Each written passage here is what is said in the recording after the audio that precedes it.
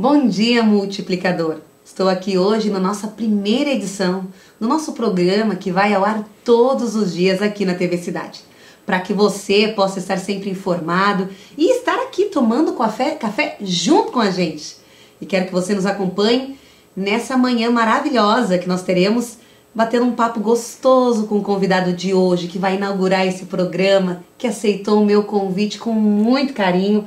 Eu sou muito feliz em receber você, Emílio Finger, um homem do mundo, mas que nós temos o privilégio de ter aqui em Caxias do Sul, na nossa região da Serra Gaúcha.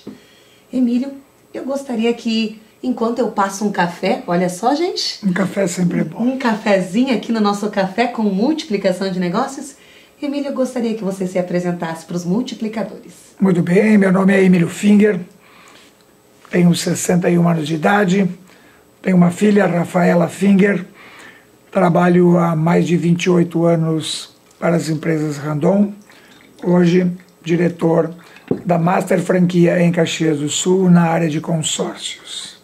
É um privilégio, é, gratidão por estar aqui hoje é, e, e, gratidão pelo convite. É, sem dúvida teremos uma conversa muito inspiradora hoje, né, nesta segunda-feira. É, será uma conversa maravilhosa. E já comecei comigo aqui, ó, virando um pouco de café, mas vai tá dar bom, tudo certo. Tá tudo jóia, tudo, tá tudo jóia. A gente está aprendendo, né? Uau. Também aqui numa mesa aqui, tá aprendendo, vai dar tudo certo.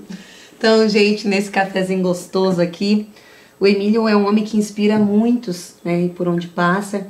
Eu gostaria, Emílio, que uh, você trouxesse para nós, né? O que você conta aí nas palestras, né? Que você traz, que é a palestra Gestão do Coração.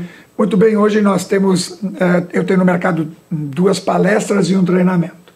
A Gestão do Coração fala muito sobre a história de um menino, o que ajudou este menino a entender, a compreender, mas principalmente aceitar e enfrentar os desafios que um dia a vida me reservou. Com a história da gestão do coração, eu incentivo as pessoas a acreditar no seu potencial, para que as pessoas possam realizar os seus sonhos e os seus desejos. Nós todos temos sonhos e desejos e às vezes não sabemos muito bem o caminho que devemos trilhar para nós conseguirmos alcançar os nossos sonhos e os nossos desejos. De alguma certa forma, eu mostro um caminho simplificado. Então, quando você puder, assista à gestão do coração e aprenda o caminho para realizar os teus sonhos e os teus desejos. E por que o nome Gestão do Coração? Porque nós devemos fazer a, a gestão da nossa vida através do nosso coração, daquilo que realmente nós temos vontade de fazer e aquilo que realmente nós amamos. É, fazer com amor, esse é o segredo para fazermos mais e melhor todos os dias. E isso a gente só consegue se a gente seguir o nosso coração. E como é que eu vou? Eu, a gente tem algumas perguntas, mas o Emílio claro, é uma fonte. Estamos de, abertos. Né, de, ao mesmo tempo que surgem perguntas aí. Como é que a gente identifica que a gente está seguindo o coração? Bom, é, você tem né, uma fórmula? Tem uma fórmula e ela é muito fácil. Hum. É, se você acordar de manhã e tiver muita vontade de fazer aquilo que você vai fazer, você está agindo com o teu coração. É a vontade de fazer que determina se você está fazendo com o coração ou não. Nós somos instrumentos de, de nós somos instrumentos que nos motivamos pelaquilo que gostamos de fazer. Caso contrário, esmorecemos e não realizamos.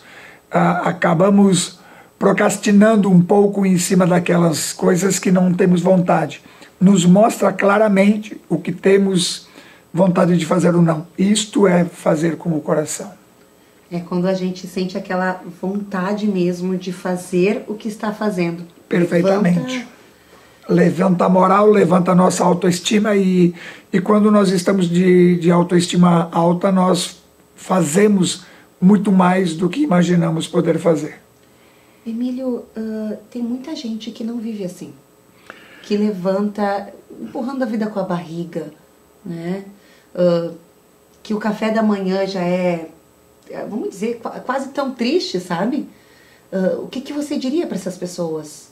Eu diria que amanhã eles vão, eles vão se cobrar por isto. E nós não devemos nos cobrar. Nós devemos é mudar.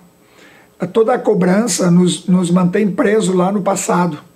Nós temos que esquecer as cobranças e, e rever o conceito da nossa vida e começar a realizar. Toda vez que nós uh, nos cobramos, nós estamos de alguma certa forma nos condenando. E a condenação não é boa. Né? Por isso, em vez de nos julgarmos e nos condenarmos, é, é bom a gente rever o conceito e mudar. Temos que mudar rápido e nos adaptarmos rapidamente. É assim que consiste a, a transição de uma vida pessoal ou profissional. Então, o conselho que você daria para nós é mudar rápido.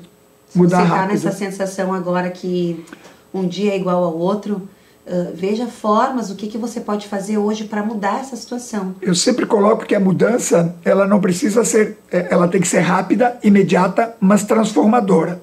O transformadora pode levar tempo, mas eu já tenho que ter a consciência de que eu não quero aquilo. Eu vou mudar, porque nem tudo eu consigo fazer do dia para a noite. Mas aí você planeja, organiza e transforma. Esse é o segredo. Planeja, organiza e transforma. E, transforma. e, e começa imediatamente. Na cabeça, imediatamente. Eu tenho uma amiga que diz assim: saia da ideia e tome uma atitude. Tome uma atitude, perfeito. É, tome uma atitude. Nós estamos aqui tomando café e convidando você, além de tomar café com a gente aqui, tomar uma atitude. Aliás, falando em café, vamos ver se tá bom? tomara, seu Emílio, tomara. bom, está bom, está bom. Obrigada. Então, Emílio, da onde vem essa sua força? Porque tu tem a sua história de vida, né? E da onde você trouxe essa força e compartilha com a gente? É muito boa essa pergunta, porque muitas pessoas, quando eu dou palestra, eu abro para perguntas e as pessoas me dizem, ah, mas como é que eu faço? Da onde, da onde tu tira, né?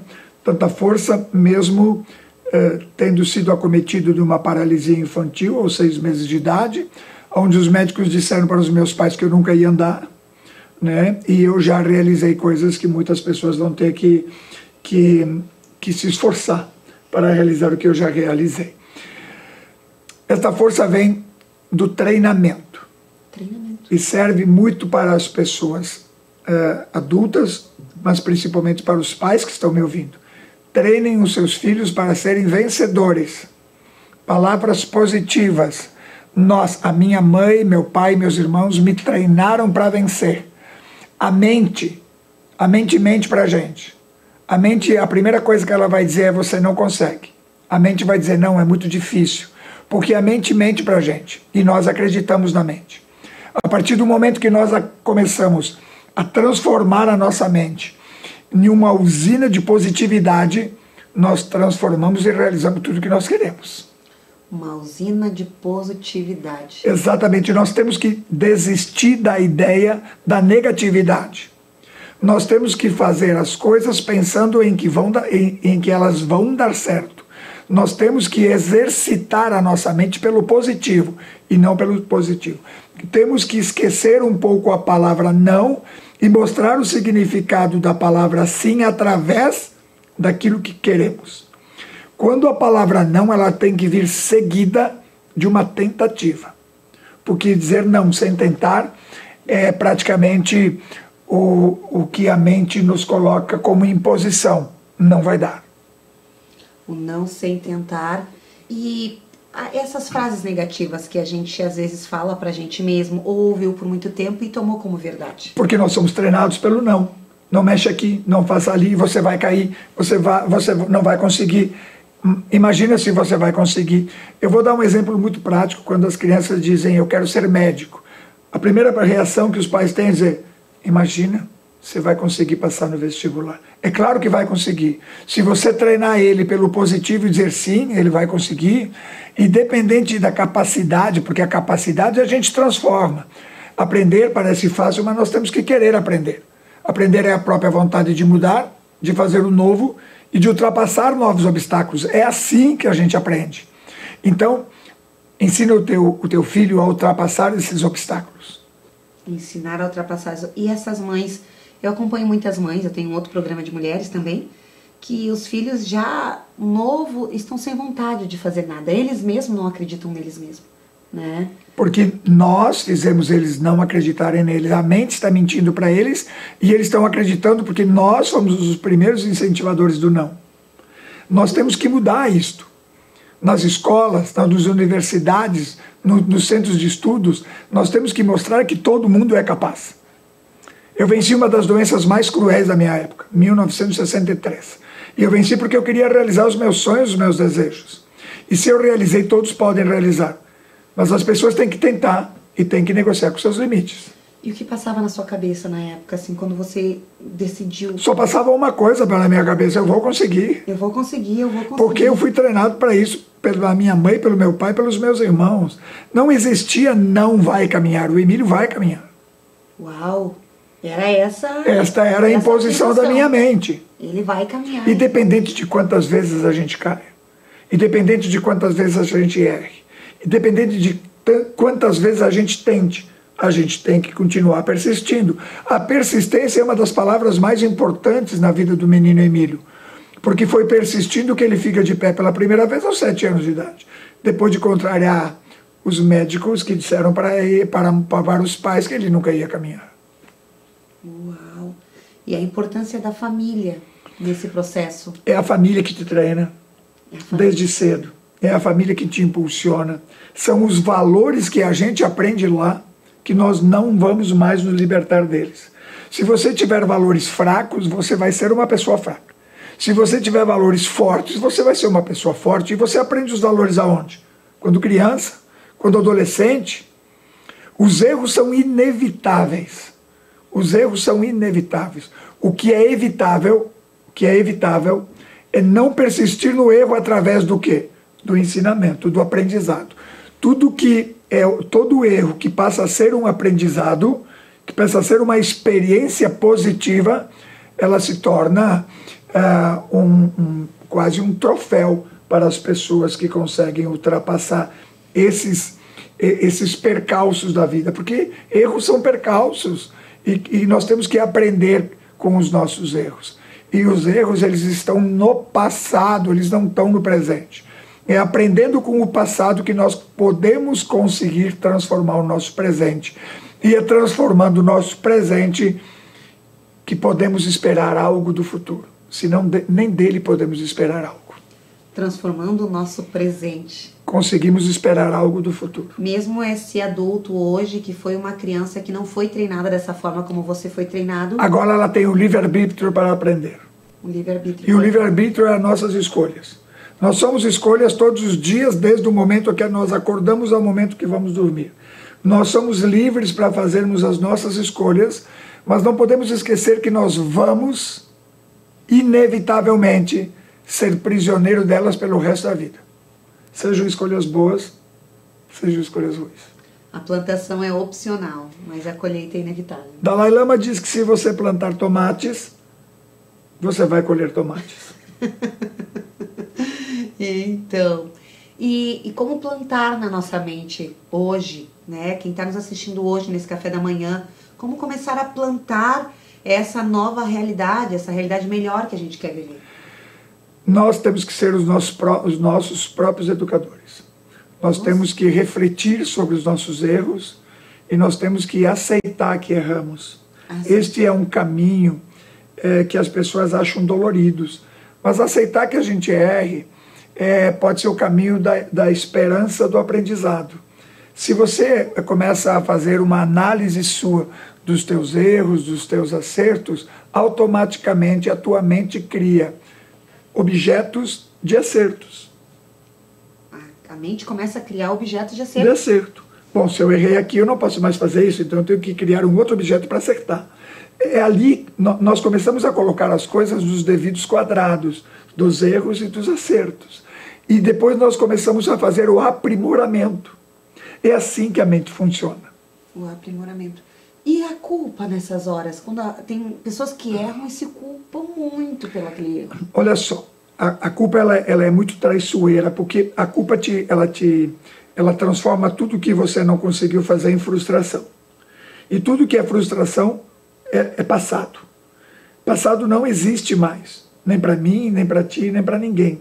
O passado faz parte da história da gente. e do passado nada nós podemos transformar. Nós não conseguimos mudar nada no passado. Nós podemos é aprender com o passado. Para quê? Para nos transformarmos no presente. O futuro, meus amigos, o futuro também não existe.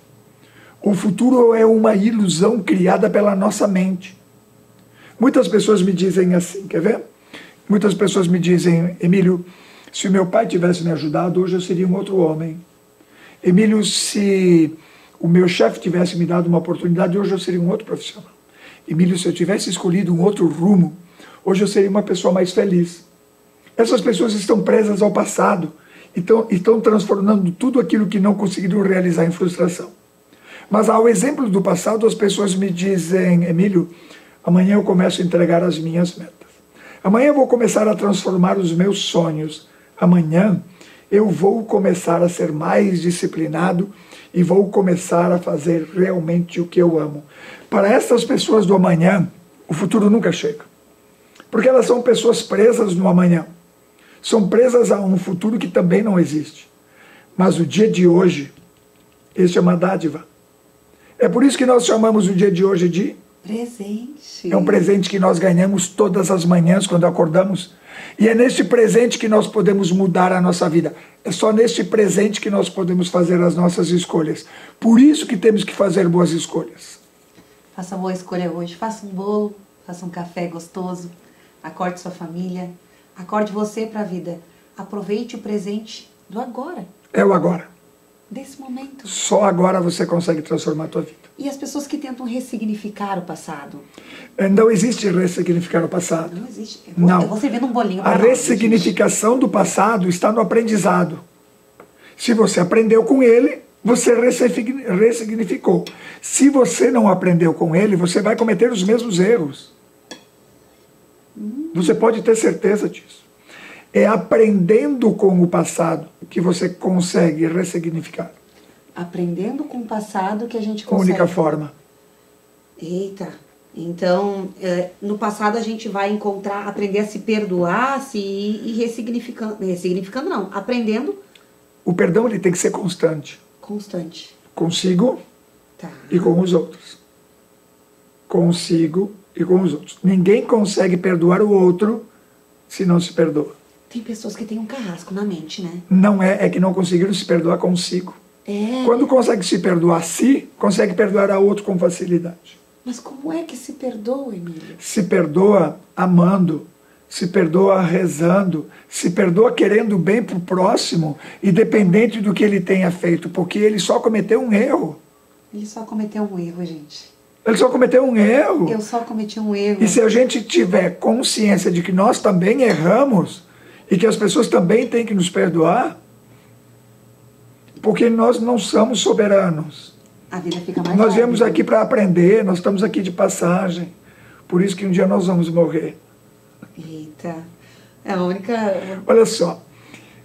Seja qual for o, seja qual for o Deus, meus amigos, ele nos deu uma vida inteira para que a gente aprenda e que a gente saia daqui melhor você pode fazer as suas escolhas. Se você quer aprender e sair daqui melhor, ser mais leve para poder voar, ou ficar preso para sempre aqui. E as pessoas estão presas por aí, né? Estão porque não conseguiram ainda entender o significado da palavra amor. Amor. E deduza para nós, na sua visão, a palavra amor. A amor. Amor é uma, uma, uma palavra muito abrangente, uma palavra muito é uma palavra que as pessoas as pessoas transformaram a palavra amor no relacionamento de duas pessoas. Eu te amo ou eu não te amo. Qual é o problema em dizer para um amigo, eu te amo? Qual é o problema em tu dizer para o teu pai, para tua mãe, eu te amo, para os teus irmãos, eu te amo? As pessoas só trabalham com a palavra amor com a, com a, com a pessoa que vai ser o teu amor uh, em cônjuge. Não é assim palavra amor é, é você parar numa sinaleira e ver o catador de lixo que não almoçou e você tirar 10 reais e dar para ele para ele dizer vai comer alguma coisa, em vez de julgar o porquê que ele está lá. Então, amor é isso. Amor é um símbolo universal, mas não só para duas pessoas. é para todas as atitudes que nós fizemos, que nós temos com nós e com os outros. Isso é amor. O amor é atitude muito mais que um sentimento. É muito o, o sentimento de amor entre duas pessoas, ele tem, mesmo esse tem que ser construído através de quê? De confiança, de carinho, de afeto, de perdão. É, eu gosto muito da palavra, é, eu tenho um, um, carinho muito, muito grande por uma, por uma palavra que é, que é o auto-perdão, né? O auto-perdão. O auto-perdão, o que, que é? Se chama compaixão. A compaixão, ela vem antes mesmo do amor. Quem não souber ter compaixão não sabe amar. Então, é isto é o que o ser humano tem, tem que aprender. Mas, Emílio, você você é sempre assim? Não. O Emílio vai errar também. O Emílio, infelizmente, vai ter um dia que vai olhar para alguém e vai dizer: Poxa, esse cara podia estar tá cortando grama em vez de pedir na sinaleira. Eu estou sendo maldoso e não estou tendo compaixão. Como é que eu posso falar em amor nesse momento? Mas o amor não é o amor exatamente é, é, igual a, a um sentimento universal. Ele também comete erros e nós temos que refletir sobre os nossos erros também no amor. E não tem problema nenhum. Nós estamos aqui de passagem, gente. Nós temos aqui é só que aprender, só que aprender. Na, na relação com as pessoas, uh, perdoá-las, entender. O, o amor está muito próximo. É, ele, é, ele é tão amplo, tão amplo, que ele, ele está muito. Ele, ele, é, ele é tão amplo quanto a palavra felicidade. E aí, o que é felicidade? O, o que, que é felicidade? Eu peço para as pessoas, as pessoas eh, me dizem é ser feliz. Mas o que, que é ser feliz? Nós temos que entender que felicidade, para mim, pode ser diferente da felicidade para você. E temos também que entender uma diferença muito clara e muito ampla que existe entre a palavra felicidade e alegria e tristeza. As pessoas, as pessoas misturam tudo isso e acabam dizendo que quando estão tristes estão deprimidas. Nós temos que entender que depressão é uma doença e não é uma tristeza. Ela pode começar com uma tristeza, mas ela não é uma doença, a tristeza. A tristeza faz parte dos nossos momentos de vida. Eu gosto muito de simplificar. Eu vou simplificar através de um exemplo que eu já dei diversas vezes. Nada maior do que o amor que eu tenho pelo meu pai, pela minha mãe e pela minha filha. E eu perdi o pai e a mãe. Mas não teve momento mais feliz no momento em que eu estava me despedindo dos meus pais, pelo momento, por, por ter a oportunidade de ter sido filho deles. Mas também não existia momento mais triste para mim daquele momento.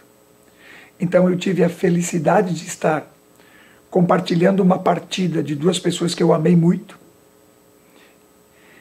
e ao mesmo tempo muito triste pela partida dos dois. Nós temos que entender que a tristeza pode estar junto da felicidade. Porque eu posso ser muito feliz e eu sou, mas isso não exime o Emílio de ter momentos tristes. E compartilhar os momentos tristes com pessoas que nós amamos pode ser o segredo de aliviarmos esta dor e não transformarmos esta tristeza em depressão. As pessoas guardam muito para si, porque elas acham que quando estão tristes é um momento de fraqueza. Não, gente. É um momento de muita força, de muita garra e de muita coragem demonstrar a sua tristeza. É o momento de chegar perto de quem se ama também e Isso. se permitir ser amado, acolhido. Então, temos que ter a noção clara do que é que é ser feliz. A felicidade é um momento que ele poderá ser passageiro. Mas a felicidade ela não é reflexo do que está lá fora, ela é reflexo do que está aqui dentro. A alegria sim pode ser reflexo do que está lá fora. Meu time ganhou ontem a partida de futebol, que faz tempo que não ganha de de passagem. Eu estaria muito alegre. Qual que é o teu time? Mas as pessoas dizem, estou feliz porque meu time ganhou. Não, tu está alegre porque teu time ganhou. Felicidade é uma coisa interior. Meu time é o internacional, mas vamos mudar de assunto.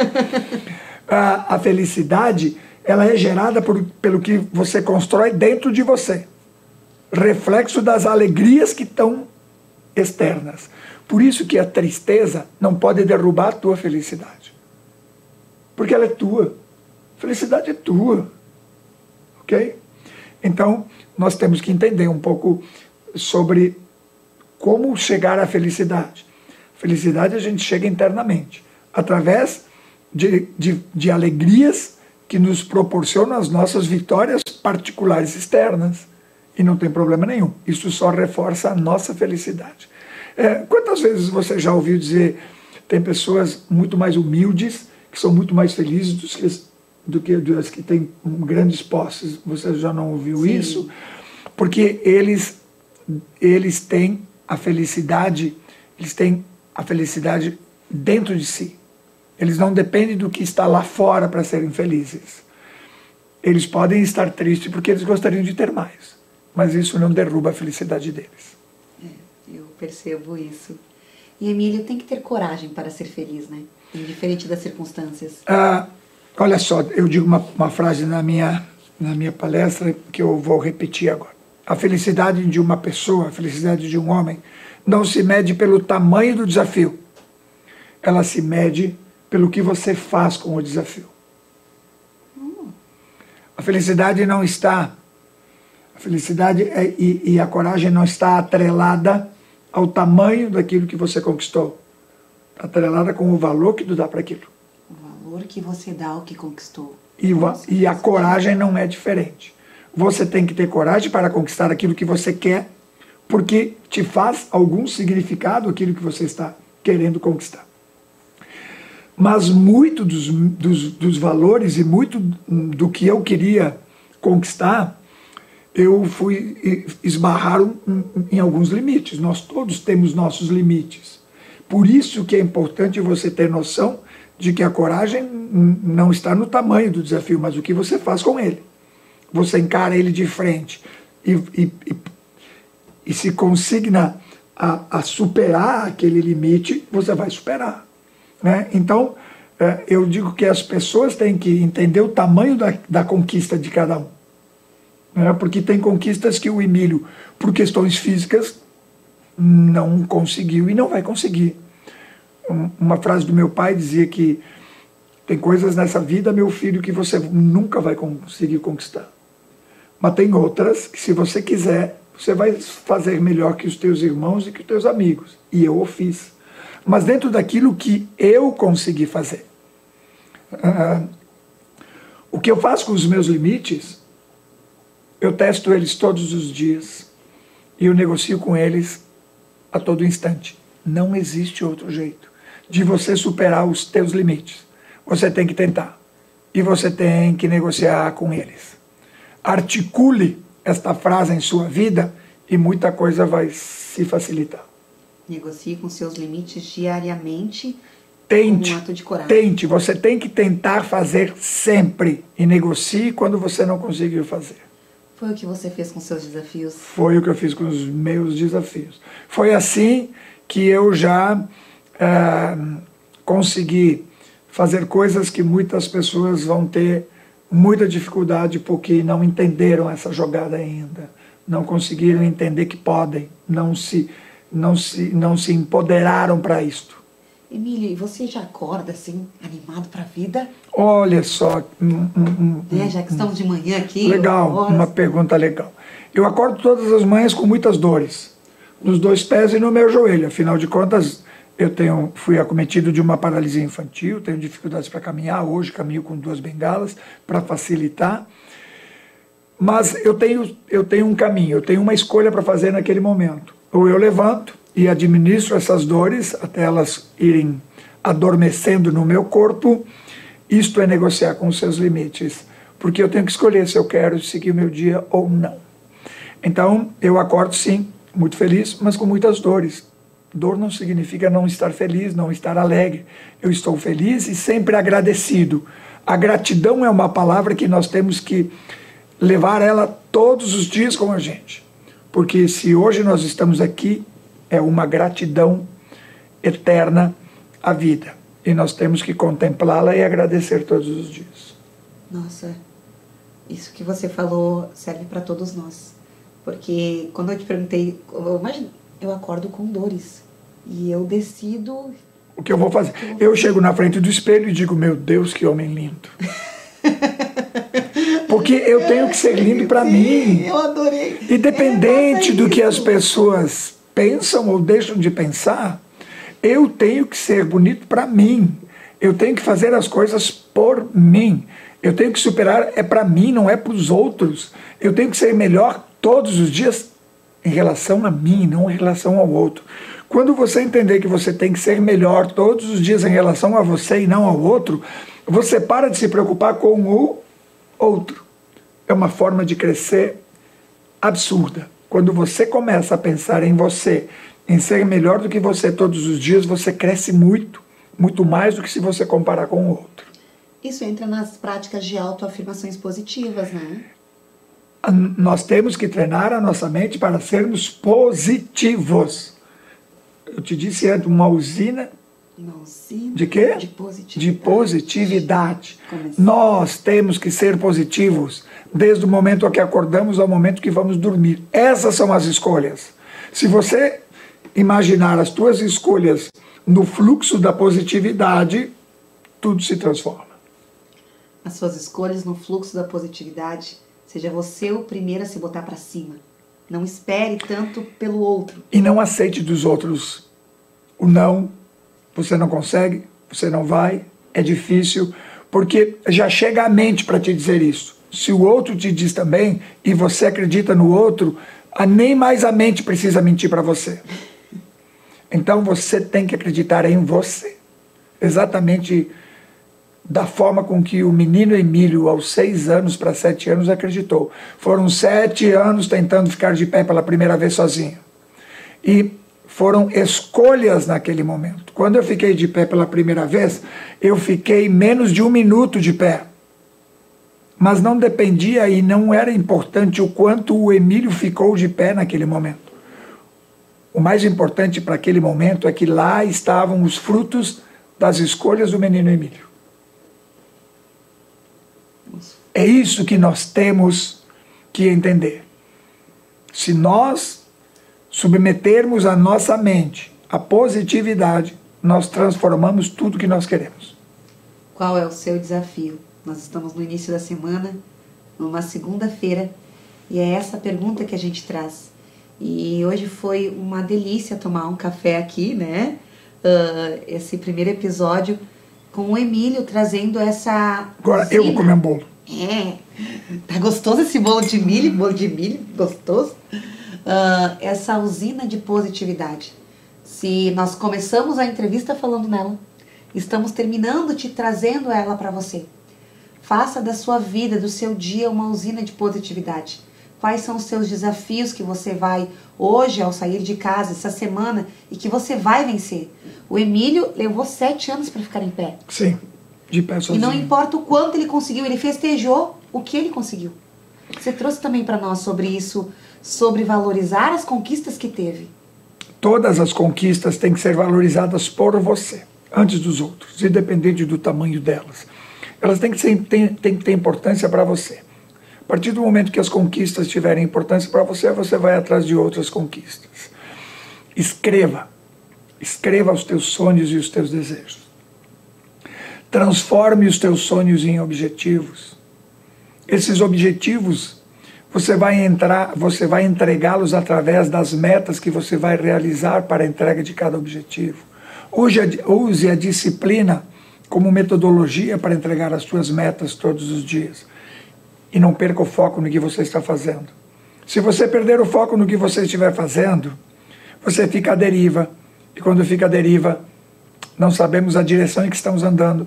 Se não sabemos a direção em que estamos andando, não sabemos se estamos indo na direção contrária ou não dos nossos sonhos e dos nossos desejos.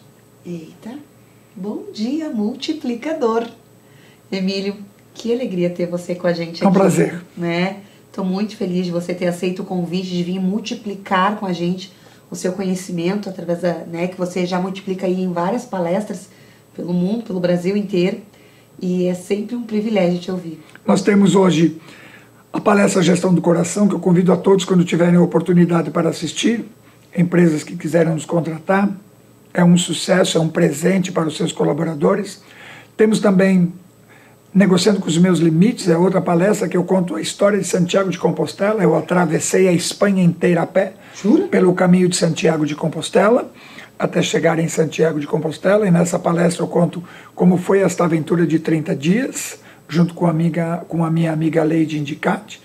E também tem um treinamento que eu dou, que pode ser de meio-dia ou de dia inteiro, que é sobre competências, como criar as pessoas dentro da sua corporação pessoas verdadeiramente competentes. Ah, mas eu vou ter que pedir uma palhinha. Como é que foi atravessar Tiago? Santiago, Santiago de, Compostela. de Compostela. Foi uma experiência fantástica, porque foi muito além dos limites do corpo do menino Emílio né, e do Emílio Finger, porque foram uh, uh, uh, 840 quilômetros, desse grande parte, 80% dele a pé, pelos caminhos de Santiago de Compostela, caminhos muito difíceis e todos os dias eu enfrentei os, os, as minhas metas em cima do meu objetivo, que era chegar em Santiago de Compostela. Uma história muito bonita. É, tenho dois livros é, que também poderão ser procurados na minha página, Emílio Finger Palestrante. Lá podem ser adquiridos os livros pela Bio.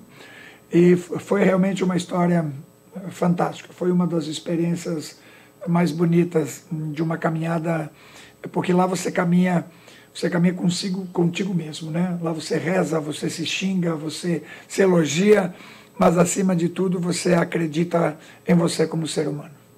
É isso. Então, gente, uh, obrigado por ter estado com a gente nessa manhã, né? E o horário que você nos assistiu no YouTube também. Convido você a nos acompanhar todos os dias aqui na TV Cidade, multiplicando coisas boas. E eu digo para você, bom dia, multiplicador. Até o próximo Multiplicação de Negócios. Bye, bye.